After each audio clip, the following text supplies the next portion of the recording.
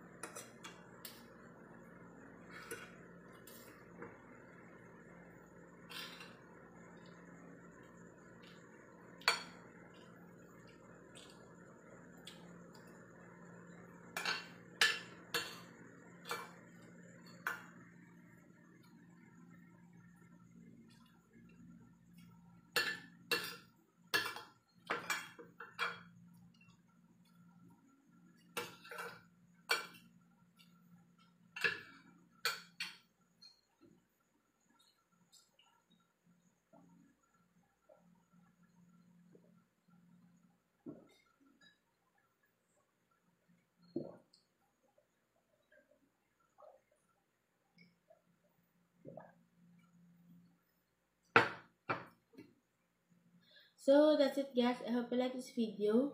Don't forget to subscribe to my YouTube channel and click the notification bell to be updated for my latest videos. If you like this video, don't forget to leave like, comment, and share. And please share my membership guys and don't forget to follow me on TikTok. If you want to buy something, please click yellow basket in this video and go to my TikTok shop. Bye!